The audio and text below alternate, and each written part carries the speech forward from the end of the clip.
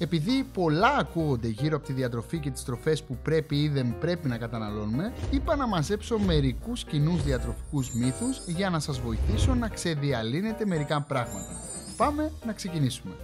Μύθος νούμερο 1. Υπάρχουν τροφές που καίνε το λίπος.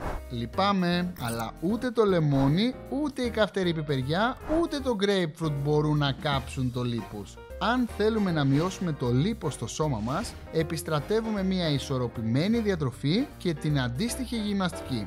That's all. Μύθος νούμερο 2. Τα προϊόντα ολικής άλεσης έχουν λιγότερες θερμίδες. Αυτός είναι ένας ισχυρισμός που ακούμε συχνά. Όμως ο λόγος που επιλέγουμε ψωμί ή ζυμαρικά ολικής άλυσης δεν είναι γιατί είναι πιο ελαφριά, αλλά γιατί είναι πιο θρεπτικά.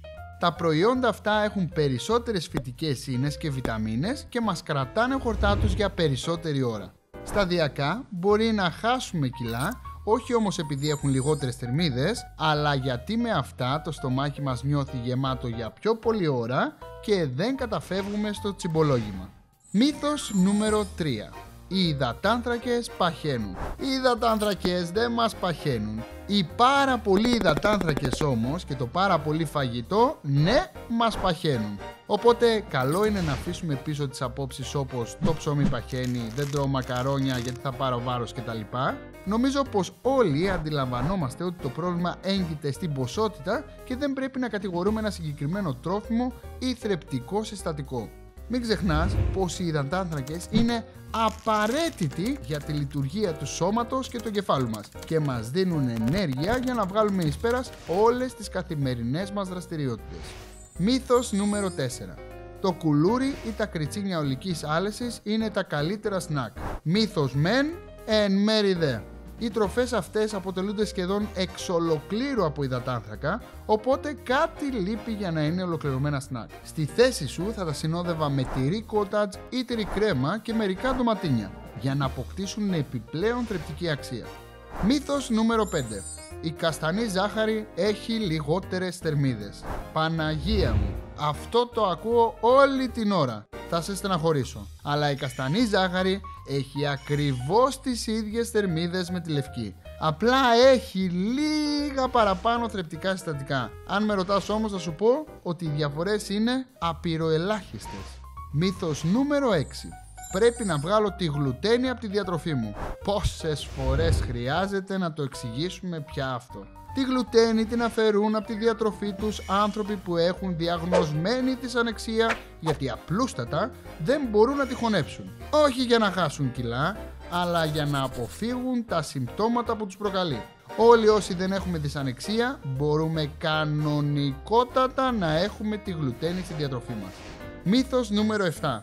Detox χυμός, δίαιτες αποτοξίνωσης και ούτω καθεξής ίσως ο μεγαλύτερος μύθος που κυκλοφορεί. Ευτυχώς το σώμα μας είναι αρκετά έξυπνο και ικανό ώστε να αναγνωρίζει και να απομακρύνει τις τοξίνες από μόνο του, χάρη στο σηκώτη και στα νεφρά. Δυστυχώς, καμία τροφή δεν έχει αυτή τη μαγική ιδιότητα. Εμπλούτισε τη δίαιτά σου με λαχανικά, υγρά και φρούτα. Αλλά για τους σωστούς λόγους και όχι επειδή ξεγελάστηκες από μαρκετινίστικους ισχυρισμούς. Μύθος νούμερο 8. Το βραδινό παχαίνει. Και μόνο που το λέω γελάω πραγματικά. Θες να μου πεις δηλαδή ότι μία καρμπονάρα με λίγη κρέμα γάλακτος, μανιτάρια και γαλοπούλα έχει άλλες θερμίδες στις 5.30 ώρα το απόγευμα και άλλες στις 9 το βράδυ; Κάτι δεν μου κολλάει εδώ. Δεν θα πάρεις κιλά αν φας το τελευταίο γεύμα σου τις βραδινές ώρες. Εξάλλου, όλα εξαρτώνται από το σύνολο των θερμίδων που παίρνεις μέσα στην ημέρα και των θερμίδων που κες. Το μόνο που μπορεί να σου προκαλέσει ένα βαρύ γεύμα αργά το βράδυ είναι φούσκωμα και λογικά ξεφούσκωμα. Αν κάτι θέλω να κρατήσεις από αυτό το βίντεο είναι να προσέχεις τα μέσα από τα οποία ενημερώνεσαι και να μην δέχεσαι κάθε πληροφορία προτού κάνεις την έρευνά σου ή ρωτήσεις την άποψη ενός ειδικού.